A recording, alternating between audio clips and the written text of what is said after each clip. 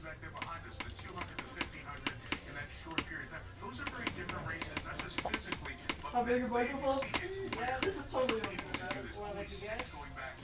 He is a size 16. This, men's side, 200 to 1500 are not on the same day Does that match the uniqueness of the challenge? I think so, just because it's, it's almost two different strokes. You know, like when you show it at 200,